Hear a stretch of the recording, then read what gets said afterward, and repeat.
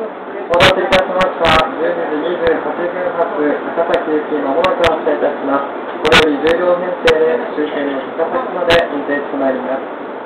次は深谷に参ります。